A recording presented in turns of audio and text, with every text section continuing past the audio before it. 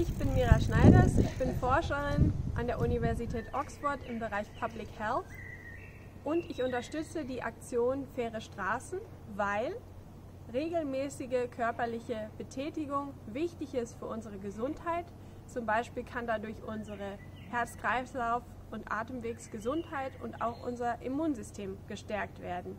All das ist wichtig in Zeiten von Corona. Außerdem kann regelmäßige Bewegung im Freien an der frischen Luft auch unser Nervensystem beruhigen und Depressionen und Angstzustände reduzieren. Auch das ist besonders wichtig in Zeiten von Corona, denn viele Menschen leiden jetzt unter erhöhtem Stress und Angstzuständen. In Städten haben aber viele Menschen nicht den Luxus eines eigenen Gartens oder eines Balkons und sind daher auf den öffentlichen Raum angewiesen, um nach draußen ins Freie zu kommen. Aufgrund der andauernden Kontaktbegrenzungen kann dies aber momentan eine richtige Herausforderung sein, denn viele Bürgersteige und Straßen sind voll und eng.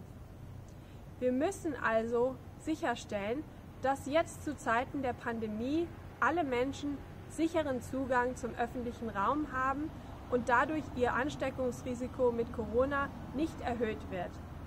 Wir brauchen also mehr Platz auf den Straßen, um einen fairen und sicheren Zugang zum öffentlichen Raum zu gewährleisten. Und deshalb plädiere ich für faire Straßen.